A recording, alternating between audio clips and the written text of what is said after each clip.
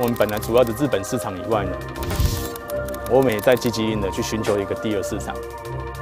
F 法进来的时候，更加速了我们有办法去把这个市场打开。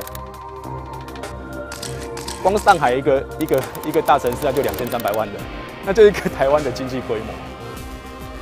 我先把市场找好了，先把通路找好了，我不再担心我的东西卖不出去。